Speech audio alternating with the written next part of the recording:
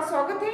मैं प्रिया, आपके साथ। गुजरात में एक शख्स ने फर्जी ट्रिब्यूनल बनाया। खुद को उसका जज बताया और गांधीनगर में बने अपने ऑफ़िस में असली अदालत जैसा माहौल बनाते हुए फैसले भी सुनाए। आरोपी का नाम मॉरिस सैमुअल है। बतौर मध्यस्थ नकली जज मॉरिस ने अरबों रुपए की करीब 100 एकड़ सरकारी ज़मीन अपने नाम कर ऑर्डर पारित किए।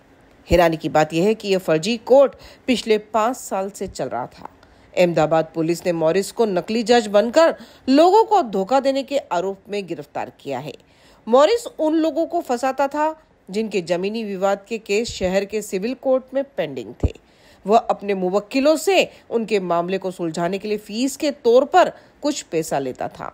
मॉरिस खुद को कोर्ट से नियुक्त किया गया, आधिकारिक मध्यस्थ बताता था। वह अपने मुवक्किलों को गांधीनगर के अपने ऑफ़िस में बुलाता था, जिसे अदालत की तरह डिज़ाइन किया गया था। मॉरिस केस से जुड़ी दलीलें सुनता और ट्रिब्यूनल के अधिकारी के रूप में आदेश पारित करता था।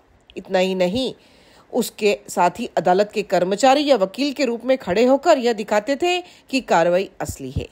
इस तरकीब से आरोपी मॉरिस 11 से ज़्यादा मामलों में अपने पक्ष में ऑर्डर पारित कर चुका था। इसी के साथ बने रहिए। एशिया इंडिया के साथ धन्यवाद।